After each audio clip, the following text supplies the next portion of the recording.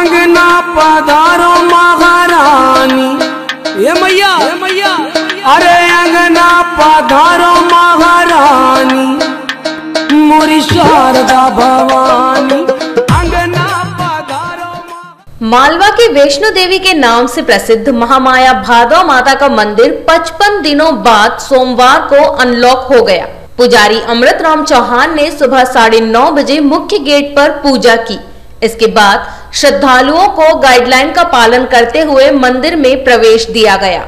जिला प्रशासन द्वारा मंदिर में माता के दर्शन के लिए एक समय में अधिकतम चार श्रद्धालुओं की अनुमति दी गई है। बता दें कि ज़िले का सबसे प्रमुख माँ भादवा माता मंदिर दूसरी लहर में लॉकडाउन के चलते 13 अप्रैल को बंद कर दिया गया था। चैत्र नवरात्रि में श्रद्धालु दर्शन नहीं कर सके। मेले का भी आयोजन नहीं हुआ। पुजारियों ने ही घट स्थापना व नवमी का हवन किया था। मंदिर लॉकडाउन होने के कारण दूसरे शहरों से श्रद्धालु नहीं आ सके।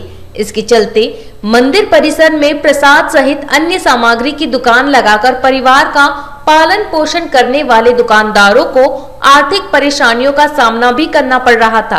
प्रशासन द्वारा ज़िले का बाज़ार दो चरणों में अनलॉक किया गया। इसी के साथ ही धार्मिक स्थलों को फिर से खोलते हुए सीमित संख्या में श्रद्धालुओं को दर्शन की अनुमति दी गई। अब मंदिर परिसर में श्रद्धालुओं के पहुँचते ही चहल पहल शुरू हो गई। दर्शन के साथ माता के जयकारे भी गूंजने लगे। बताया जा रहा है कि एक समय में चार श्रद्धालु दर्शन कर सकेंगे।